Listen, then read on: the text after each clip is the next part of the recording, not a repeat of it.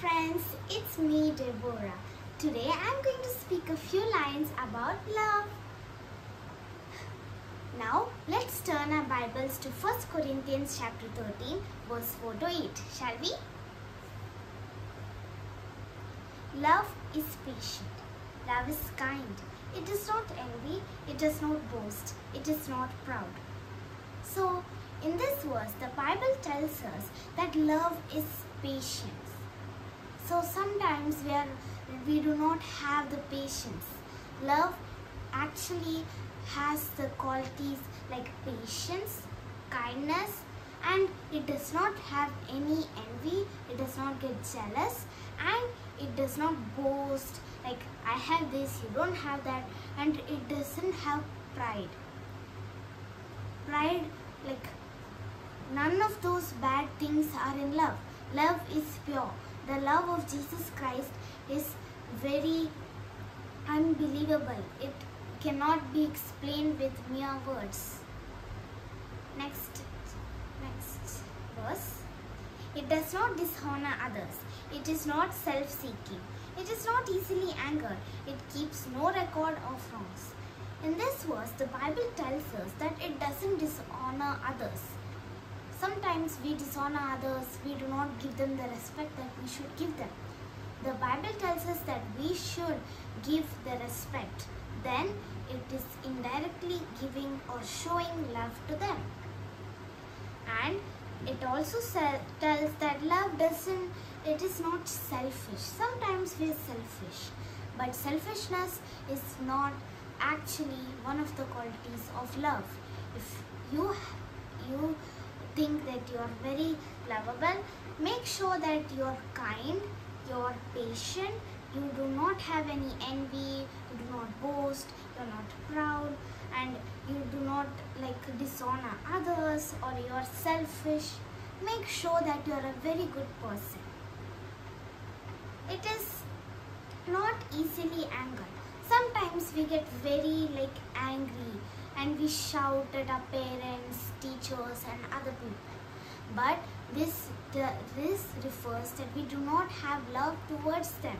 If you really think you have love, try to meet every problem and circumstance with some patience, with some kindness, with some joy. Be happy all the time because God has made you happy. God has made you for a special purpose. And the Bible also says it keeps no record of wrongs. We do a lot of wrong things, but love doesn't do even a single thing which is wrong. So make sure that you do not do something which is wrong.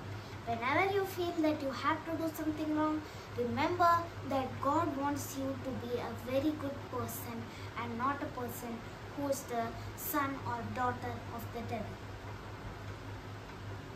Love does not delight in evil but rejoices with the truth.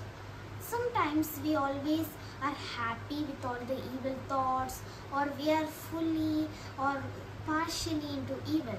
But love does not even give a single room or a single space to the evil. It hates the evil but it loves the truth. It loves the word of God. So make sure that you love the word of God, you love others, be patient, be kind, be a very good person. Because that is what God desires in us. It always protects, always trusts, always hopes, always preserves. Love is always uh, protects us from every evil. It protects us from every bad thoughts and everything that uh, that is bad for us. The love of Jesus is so, so big and you cannot tell it with your own words. It is a very, very special thing in this whole entire world. Even much more expensive or much more valuable than gold, silver, silver, diamonds or anything else in this world. It always trusts and it has hope sometimes we always lose the hope or the trust, the faith in God. But love never loses hope, trust or the anything like the faith in God. It is always there.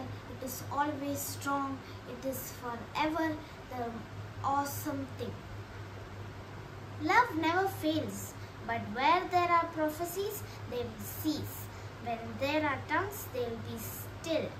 When there is knowledge, it will pass away. Here, the Bible tells us that love never fails.